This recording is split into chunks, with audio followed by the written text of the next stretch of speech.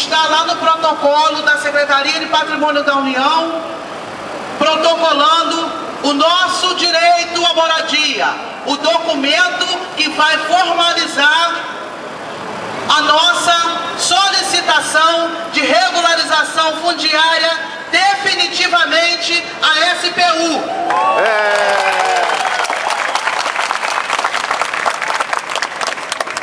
Portanto, companheiros, para muitos, para muitos é engraçado. Estou vendo sorrisos, né? Parece de deboche nos lábios de algum. Mas a realidade é bem mais dura do que um simples sorriso. A realidade é a gentrificação que estão tentando fazer na comunidade do Or. Uma comunidade pacífica, comunidade centenária, que no início da sua existência contribuiu e muito, e muito para o engrandecimento do Jardim Botânico, que hoje é o Instituto de Matemática Pura e Aplicada. Portanto, companheiros, nós temos todo o direito de hoje estarmos aqui fazendo essa reivindicação. Os nossos inimigos têm que entender definitivamente que não é a vontade deles que vai ter prioridade. Eles têm que entender definitivamente que as terras da União têm que cumprir a sua função social. Eles têm que entender e respeitar que a União quer a nossa regularização. A União reconhece o nosso direito à moradia. Mas, infelizmente, os que têm poder econômico e os, os, os, membros da justiça, aliados a esses do poder econômico, querem passar por cima do direito que a União nos concede. Não vamos esmorecer, vamos continuar na nossa luta enquanto ela existir bradando e reivindicando o nosso direito à moradia. Não vamos entregar a nossa área, a nossa terra, onde sempre cuidamos, onde convivemos pacificamente, não vamos entregar a especulação imobiliária.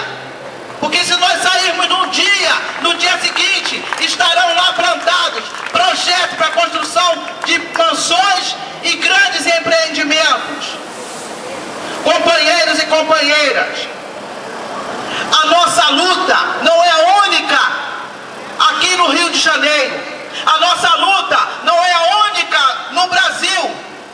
A nossa luta é emblemática. É a luta da classe trabalhadora pelos seus direitos. É a luta da classe trabalhadora pelo reconhecimento da sociedade. Que sem a classe trabalhadora, a sociedade não existe. Nós somos o patamar dessa Portanto, nós temos que ter coragem, temos que ter persistência e gritar sempre, lutar pacificamente pelos nossos direitos, pelo direito à moradia, o direito à educação, o direito à saúde. Companheiros e companheiras, Hoje nós estamos aqui reivindicando o nosso direito à moradia.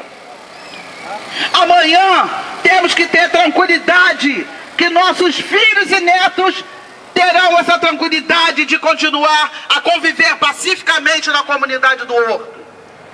A sociedade tem que ver, a sociedade tem que nos ajudar a denunciar a depredação que está sendo feita na área, floresta que pertence, que está sob domínio do Parque Nacional da Tijuca. Área esta que a Rede Globo tem um mega projeto onde árvores centenárias serão devastadas. Vai haver remoção de solo. Vai haver um grande desmatamento. E a sociedade não vê. As mansões estão subindo morro acima, desmatando, depredando, acabando com a nossa flora e a nossa fauna.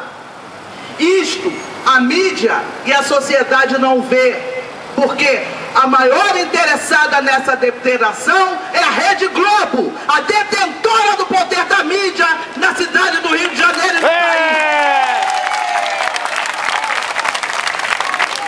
Mas nós não vamos nos calar a esse abuso. Nós vamos sim fazer o enfrentamento pacificamente, reivindicando que a lei seja cumprida. Nós queremos sim que seja respeitado e cumprido o nosso direito à moradia. Concessão de uso especial pelo direito à moradia. É isso que nós queremos.